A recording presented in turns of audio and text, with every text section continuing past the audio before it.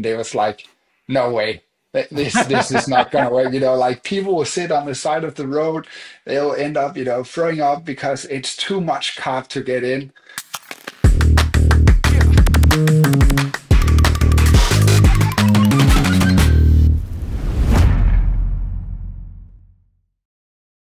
on average, you know, what does a what does a rider's daily nutrition look like for for someone at that level?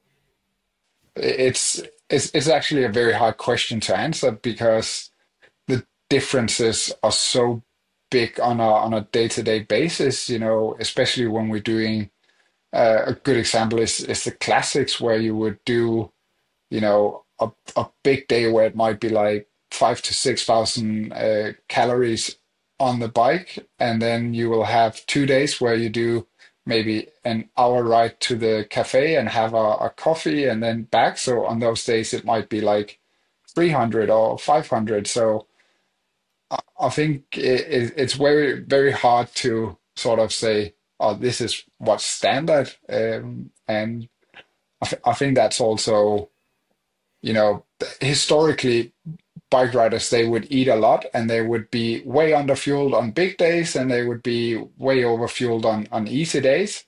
Um, whereas now you know the smarter we've gotten we can sort of see that okay maybe it's better to actually try and and match the energy intake with the with the output. Um so today it's it's very hard to say what they what they eat on average but like when we do the the tour de france anything from like 15 grams of, of carbs per kilo up towards like above 20 grams per kilo uh, on, on the stages is, is pretty normal.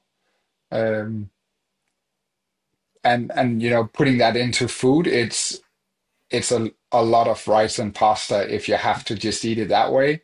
Um, so, you know, I've, I've been in cycling for 20 years. Um, when I first started in cycling, you know, having 30 grams of carbs per hour, that was, you know, that was the gold standard.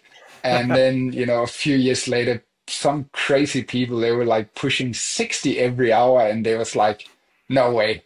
This this is not gonna work, you know. Like people will sit on the side of the road, they'll end up, you know, throwing up because it's too much carb to get in.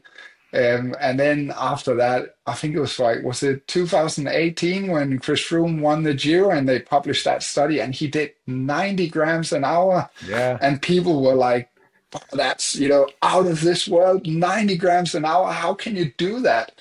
And now, you know, like we have this one drink from Nduranz and it's it's 90 grams of carbs in in one bottle.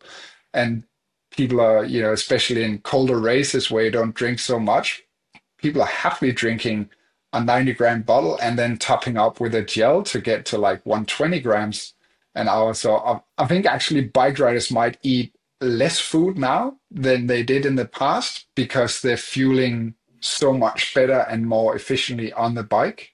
Um, you know, first of all, there's been a a lot of science done in it, but also just that there's like the products that we use on the bike now, they are complete different quality compared to what they used to be. Uh, you see far less people having, you know, upset stomach and stuff like that because we actually have drinks and gels and stuff like that that works well and are tolerated in those high amounts that the riders need.